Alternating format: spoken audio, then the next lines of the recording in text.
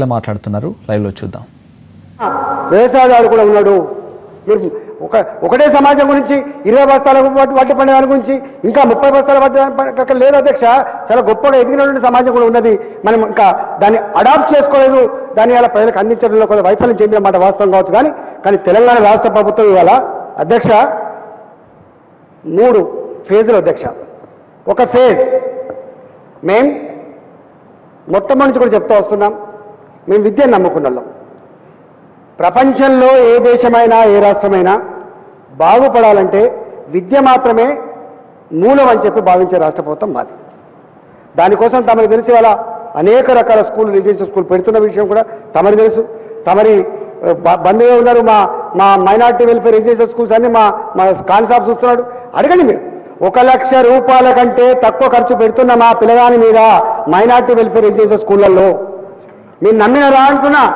ఇవాళ మామూలు కూలి చేసుకునేటువంటి తల్లి మామూలు బిజినెస్ చేసుకునే తండ్రి ఒక పిల్లగాన్ని ఒక అమ్మాయిని స్కూల్ పంపాలంటే ముప్పై వేలు నలభై వేలు యాభై వేల రూపాయలు ఖర్చు పెట్టి అప్పుల పాలై ఆ అప్పుల ఊపిలో కూరుకుపోయి ఆ కుటుంబం అంతా బయటపడలేక తలడిల్తా ఉంటే తెలంగాణ రాష్ట్ర ప్రభుత్వం అలాంటి తల్లులకి అలాంటి తల్లులకి ఇవాళ గొప్ప విద్యను అందించాలని చెప్పి రెండు వందల రెసిడెన్షియల్ స్కూళ్ళు ఎవరికైనా ఆలోచన వస్తుందా సెబ్బిరాని సార్ చెప్పండి? ఇది ఎంత గొప్ప మార్పు చెప్పండి మీరు? ఇవాళ నూట పంతొమ్మిది రెసిడెన్షియల్ స్కూల్లో ఒక సంవత్సరం బీసీల కోసం స్టార్ట్ చేసిన చరిత్ర ఈ దేశం ఎక్కడ ఉంటే చూపించండి. మీరు ముక్కునేలో రాస్తా. అందుకనే మీరు చేయలేదు ఎస్ తెలంగాణ రాష్ట్ర ప్రభుత్వం doctor Kothari doctor Abdul Kalam doctor Abdul Kalam వాళ్ళే మాకు ఆదర్శం. డాక్టర్ అంబేద్కరే మాకు ఆదర్శం. సావిత్రిబాయి పూలే మాకు ఆదర్శం.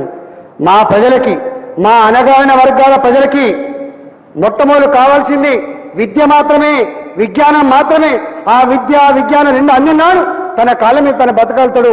తాను ఎమ్మెల్యే కాగలుగుతాడు. తను ఒక పారిశ్రామికవేత్తలు కాగలుగుతాడు. తన సమాజంలో గౌరవంగా బతకగలుగుతాడనే విశ్వాసం ఉంది కాబట్టి తెలంగాణ రాష్ట్ర ప్రభుత్వం మొట్టమొదటిగా ఇవాళ విద్య మీద ఫోకస్ చేసింది. తప్పకుండా విద్య పేద పిల్లలకి పేద కుటుంబాలకు రూపాయి ఖర్చు లేకుండా అందించే ఎజెండా నిర్విరామంగా కొనసాగుతుందని చెప్పి ఈ సభా సాక్షిగా నేను ప్రజలకు హామీ ఇస్తా ఉన్నాను. అధ్యక్ష రెండవది అతి ముఖ్యమైనటువంటి సమస్య ఇవాళ ఆకలి ఉన్నవాడికి అన్నం పెట్టడం. ఆ సమస్య కూడా దాదాపు తీర్చడం అధ్యక్ష. మీరు ఉత్తగానే కావధ్యక్ష శ్రమ పడకుండా ప్లాన్ చేయకుండా ఇన్వాల్వ్ కాకుండా వాటికనే అయితే అధ్యక్ష? అన్నం ఉడికిందా లేదని మొత్తం చూస్తాం అధ్యక్ష. అన్నం కింద లేదని ఒక్కటి చాలు. కరెంట్ ఇచ్చింది చాలు అధ్యక్ష. మీకు తెలియదా? కరెంటు కోసం కరెంటు ఇవ్వాలని పారిశ్రామికవేత్తలు కూడా ఇందిరా పార్క్ దగ్గర ధర్నా చేసిన చరిత్ర ఎక్కడు ఎప్పుడు ఎవరి దగ్గర? మీకు తెలుసు కిరణ్ కుమార్ రెడ్డి గారు చాట్లేసి మాకు చూపించేది. కట్టెబెట్టి చూపించేది.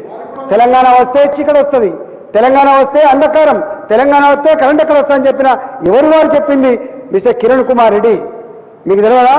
మేమందరం ఎమ్మెల్యేలను కలిసి విద్యుత్ సోదా బిల్డింగ్ దగ్గర పోయి ధర్నా చేస్తూ ఉంటే ఇద్దరు ఎమ్మెల్యేలు తలుపులు వేసుకొని ఆత్మహత్య చేసుకుంటామని చెప్పేది ఈ సందర్భాన్ని మీకు తెలుసు అధ్యక్ష. అయ్యా అధ్యక్ష నేను ఆనాటి జెన్కో సీఎండి గారు అజయ్ జైన్ అనుకుంటా రెండు చేతులు జోడించి అడిగినాం. ఎన్పిడిసిఎల్ కింద మోటార్లు కాలిపోతున్నాయి. ఎన్పిడిసిఎల్ కింద కరెంటు లేదు ఎన్పిడిసిఎల్ కింద ఒక ఐదు వందల మెగావాట్ కేటాయించండి అడిషనల్గా అంటే వారు అప్పుడు చెప్పిన మాట ఏం తెలుసా అధ్యక్ష? ఎన్పిడిసిఎల్ కింద రెవెన్యూ రాదు. రెవెన్యూ వచ్చేదే ఎస్పీటీసీఎల్ కింద ఇవ్వము అని చెప్పిన అధ్యక్ష ఇవ్వము అని చెప్పిండు.